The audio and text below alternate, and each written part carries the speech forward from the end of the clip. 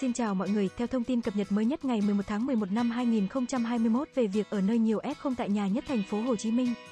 Phường Hiệp Thành là một trong 11 phường của quận 12 thành phố Hồ Chí Minh có số ca nhiễm COVID-19 cao nhất với 3.976 ca tính đến chiều 10 tháng 11 theo dữ liệu bản đồ COVID-19 thành phố.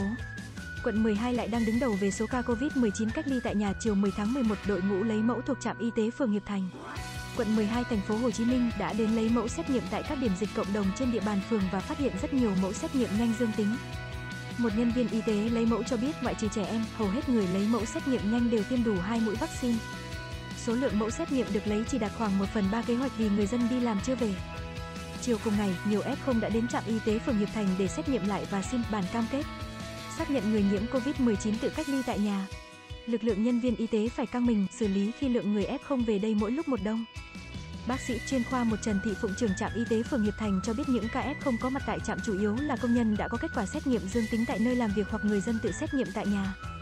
Họ được chính quyền địa phương thông báo đến trạm y tế để xét nghiệm lại, lấy bản cam kết cách ly tại nhà cũng như cấp túi thuốc. Đây là tình huống chữa cháy khi lực lượng y tế của trạm rất mỏng, bác sĩ Phụng bộc bạch.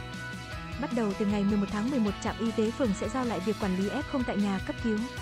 Vận chuyển bệnh nhân trở nặng cho các trạm y tế lưu động, Thật ra từ sáng 10 tháng 11 trạm có thêm một trạm y tế lưu động của bệnh viện Bình dân đến hỗ trợ.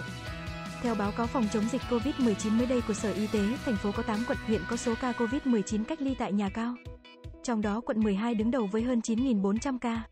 Phường Hiệp Thành có số ca nhiễm COVID-19 cao nhất tại quận 12 với 3.976 ca và đang ở cấp độ 2, lời nói sau cùng cho kết thúc thông tin vừa cập nhật trên. Mong mọi người hãy chủ động phòng chống dịch COVID-19 theo lời kêu gọi từ Bộ Y tế mỗi người dân Việt Nam tiếp tục lan tỏa và thực hiện thông điệp 5K. Khẩu trang, khử khuẩn, khoảng cách, không tụ tập, khai báo y tế để quyết tâm chiến thắng đại dịch COVID-19. Kênh thông tin New 247 luôn luôn chia sẻ những thông tin mới và hữu ích mọi lúc mọi nơi, hãy follow page, like video và chia sẻ với mọi người để cập nhật những thông tin mới nhất. Xin chào tạm biệt và hẹn gặp ở những video tiếp theo.